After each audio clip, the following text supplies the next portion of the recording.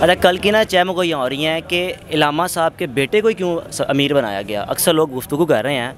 उनका एक सवाल है कि उन्हीं को क्यों बनाया गया? जिस तरह की मौरूसी सियासत इस तरह होगी इस तरह इस तरह आपकी क्या राय है? देखिए हमारा कोई ख़ानदानी सियासत में ऐसा कोई नहीं था ना हम सियासी हैं। हम अलहमदिल्ला एक मजहबी लोग थे। असल नाजरीन आप देख रहे हैं मेरा पाकिस्तान और मैं हूँ आपका होस्ट हारिस भट्टी। मेरे साथ मौजूद हैं इलामा खादम हुसैन साहब के बड़े भाई अमीर हुसैन साहब। कल उनका जनाजा था खादम हुसैन रज़ी साहब का और पाकिस्तान तो क्या दुनिया की तारीख का सबसे बड़ा जनाजा जो कि कल मीनार पाकिस्तान में अदा किया गया। जहाँ नज़र दोहराई जाए आपको इंसानों का समुंदर ही नज़र आएगा। और तकरीबन मैंने ख़ुद उस जनाजे को मैंने कवर भी किया, वहाँ पे भी रहा हूँ। भी गुस्ताखी होती थी, सबसे पहले आकर खड़े होते थे और नारा बुलंद करते थे, लब्बैक लब्बैक या रसूल अल्लाह मेरे साथ मौजूद हैं खादम सर्विस का बड़े भाई इनसे गुफ्तु करता हूँ और कुछ ऐसी बातें उनसे जानने की कोशिश करता हूँ कि जो लोग जानना चाहते हैं कि खादम सर्विस साहब बचपन उनका कैसा गुजरा इनके साथ। और माशाल्लाह जिस तरह उनका बोलने का अंदाज़ था एक धड़ल्लापन था उनमें। वालेकुम सर। वालेकुम सर सबसे पहले तो मैं आपसे गम का इजहार करूँगा और दूसरा ये कि उम्मत मुसलमान के लिए एक बहुत बड़ा लॉस है ये। रिजवी साहब का जाना दुनिया से। आप उनके बड़े भाई हैं। आपका उनके साथ बचपना कैसा गुजरा? और माशाल्लाह, इतनी धड़लीदार उनकी आवाज़, इतना धड़लेदार, ओए, लोगों को ताड़ के रख देते थे जो भी गुस्साख होता था।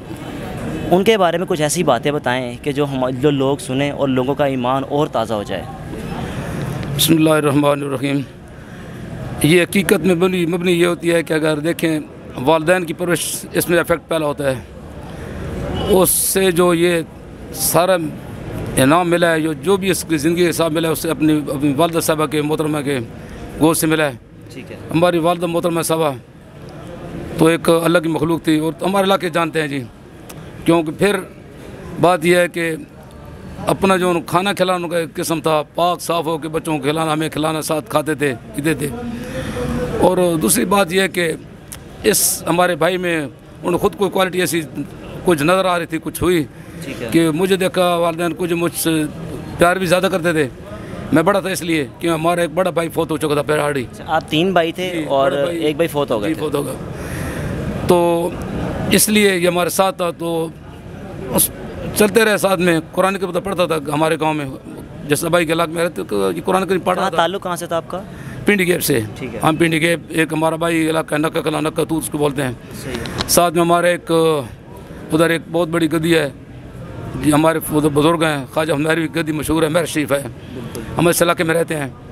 और खसूस फिर अगर ये इनाम देखें तो हमारा वो भी अलहमदिल्ला उससे भी हम साबित होता है कि हमारे इलाके में एक बहुत बड़ी हस्ती है। और उस हस्ती में हम रह रहे थे। हमारे वालदेन ने, हमारे दादा, दादाजी, बाप जी बाप बाप ने बहुत लंगर काम किया उस, जी हाँ बड़ी खिदमत की हैं। तो उसका इंजाम अल्लाह पाक ने ये दिया कि हमारे भाई को अल्लाह पाक ने यह मकाम अदा कर दिया कि आलम फाजिल और एक गैरतमंद गैरतमंद और मर्द मुजाहिद आप वसल्लम के आप उनके ख़त्म बहुत पारेदार बन गया। और जिसके आपके सामने अगर किसी किस्म की किसी मुल्क में, इवन पाकिस्तान में तो नामुमकिन जो भी हुई तो आपके सामने थी धरने जो हुए लेकिन कोई कुफर की आवाज़ निकली तो उसके सामने ये खड़ा होता हो जाता था आप सलम के लिए। तो बचपन इसका ये गुजरा कि बचपन में अलहमदिल्ला जहन बहुत बहुत जहन था। इसके उस्ताद ने कहा था कि आप हमारे गाँव का उस्ताद था। कौम तरकान का था उसने कहा भाई अगर चाचा जी आप इसको अच्छे मतलब से डाल दो। ये बच्चा हमसे आगे जा रहा है। कैसे आगे जा रहा है? उसने कहा यार जब हम सब देते हैं ना दूसरे दिन ये अपने खुद से और सुना सुनाता है यार। और नादर खान छोड़े उसको हाफ़ कराओ।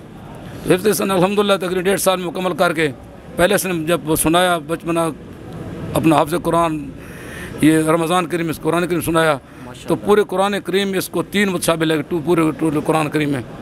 तीन मुताबिल फिर साथ ही थे लेकिन इसको चौथी क्लास में बच वालदा ने छुड़ा के इसको मुकम्मल ही इस्लामी तालीम में लगा दिया उन्होंने कहा नहीं इंग्लिश तालीम आप छोड़ दें यानी कि पाँचवीं के बाद इस्लामी तरीके के दुनियावी तरीके ख़त्म कर दिया तालीम और इसकी ये इसने कहा कि मैं खुद तलीम ये तालीम इस्तेमाल नहीं पढ़ना नहीं चाहता मैं कुरान कहीं पढ़ूँगा और मुझे कहीं किताबें पढ़ाएँ माशा जी हाँ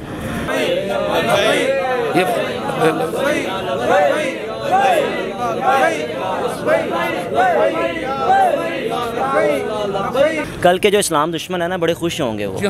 क्योंकि वो जब भी गुस्साखी करते थे ना तो पाकिस्तान से एक ऐसा बयानिया जाता था कि वो एक दुनिया में उसका एक मुकाम होता था कि भाई मुसलमान जो पाकिस्तान से एक ऐसा बयान आया कि यार कोई गुस्ताखी करके ना इनके उसको माफ़ी नहीं थी।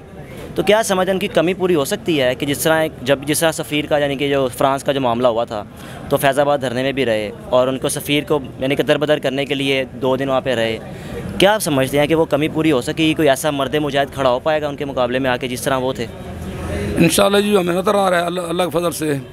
ये मैं दावे से नहीं कहता लेकिन देखें खून और ख़ानदान ये असर ये बड़ा होता है। बिल्कुल। और फिर मैं ये नहीं कहता कि हमारी तहरीक में अलहमदिल्ला सारे गरतमंद भी हैं हमारे शूर जुम्मर है और जितने कारकुन मैं समझूँ और जितने कारकुन बच्चे से लेके हमारे ज़िम्मेदारान तक अलहमदिल्ला जो सामने आ गए खदम हुसैन जो आवाज़ उठाई उसके साथ लब्बैक कर रहे हैं जी। तो मैं कहता हूँ अलहमदिल्ला के इन लोगों की जो हिम्मत है हमारे साथ ये कर रहे हैं तामन। अच्छा कल की ना चैम को ये हो रही हैं कि इलामा साहब के बेटे को क्यों अमीर बनाया गया? अक्सर लोग गुफ्तु कर रहे हैं। उनका एक सवाल है कि उन्हीं को क्यों बनाया गया? जिस तरह की मौरूसी सियासत इस तरह होगी इस तरह इस तरह आपकी क्या राय है? देखिए हमारा कोई ख़ानदानी सियासत में ऐसा कोई नहीं था ना हम सियासी हैं। हम अलहमदिल्ला एक मजहबी लोग थे और मजहबी हैं और सुन्नी है ये सारे इलाके को पता है सुन्नी है माशाल्लाह। और दूसरी बात ये है उम्र का तकाजा नहीं होता। ये अल्लाह पाक की देन है जिसको अल्लाह ताला फरमा दे। अब देखिए खदम हुसैन साहब ने जिन उस्ताद से पढ़ा है वो भी माशाल्लाह ताजात हैं। ताजात जिनसे जिनसे इन्होंने पढ़ा है। और हफ्ज़ हफ्ज कुरान किया वो भी अभी ज़िंदा है। स्टार्ट जिनसे हिफ्ज़ कुरान किया है वो भी अभी ज़िंदा है। तो उन्होंने खुद कलाम है कि ये अल्लाह पाक की देन है जिसको अल्लाह पाक ले ले दे दे। और दूसरे ये कि ये बच्चे उसकी औलाद हैं और उसका खून है। और मैंने इन बच्चों का रवैया देखा है कि शुरू से लेकर आज तक कि वाले साहब के खिलाफ चले नहीं।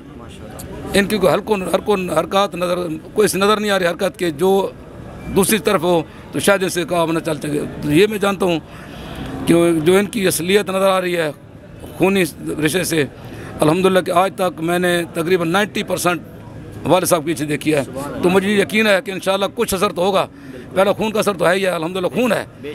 तो दूसरा हमारा ख़ानदानी सर यह है कि अलहमदिल्ला रबालमीन ख़ानदान हमारा किसी आज तक झुका नहीं। ये बड़ी बात है कि हमारे वाले साहब भी आज तक किसी झुका और किसी सियासी या किसी नंबर मलिक की उन्होंने पनाह नहीं ली। आज तक जैसे कि हमारे भाई भी सामने आ गया कि हमने किसी की पनाह नहीं ली। अल्लाह का शुक्र है और न लेते हैं। इसलिए मुझे यकीन है कि इन हमारे जो कारकुन हैं, हमारी तहरीक के शुरू मेंबर हैं और हमारे जो बच्चे हैं इनमें इतनी खासियत नहीं मैं नहीं कहता कि होगी वाल जैसे नहीं होगी हो सकता है। अल्लाह पाक दिन से आगे जाएँगे लेकिन अल्लाह का हुक्म होगा और नबदीन वाले कर्म राज़ी होगी इन जाएँगे और अपने हाथों से आपने उनको दफनाया कल? जी। क्या मंजर था? बड़ा खूबसूरत मंजर होगा कब्र से खुशबू आ रही होगी। कुछ बताएँ देखने वालों को। बस ये देखें कुछ चीज़ों देख मेरा भाई है वो। कुछ मैं तारीफ़ अपने मुँह से कहता नहीं। नहीं नहीं लोग तारीफ़ बनती तारीफ़ तो अब जो बात हकीकत ही बताएँगे तारीफ़ क्या है? इसमें हकीकत है। हजूर एक दिन गलबन दो दिन भरने के पहले इनके दुनिया से रुख जाने पहले मैंने ख्वाब नहीं देखी जो मैं बता रहा हूँ। मैं अपनी ख्वाब एक देखी देखी। घर सो तो घर अपने पिंडी के में सो रहा था। अच्छा। तो मैंने ख्वाब देखता हूँ कि मैं एक बहुत बड़े छत के नीचे बैठा हूँ।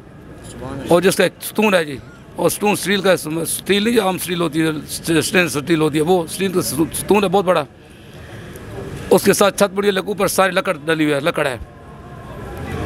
तो मैं देख मंजर, ये रहा हूँ कि वो स्तून हिल रहा है ना।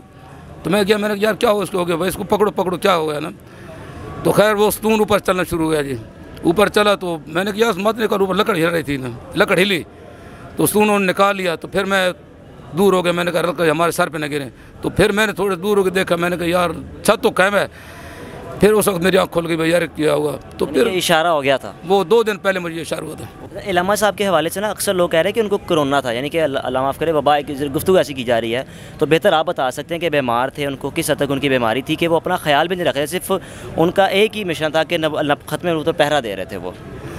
बेटा ये हालत था कि इनको जुम्मे जुमरात से बुखार हो रहा था जुमरात को जुम्मे जी हाँ ठीक है। जो जुम्मर जो गुजर गया उस हफ़्ते हफ्तेवार दिन पंद्रह तारीख थी और मैं खुद परेशान था इसमें। और कोरोना का तो नाम अलहमदिल्ला नहीं था, नाम तक नहीं था जी उनकी जो सेहत सब सबके सामने थी, वो फैजाबाद पहुँचे।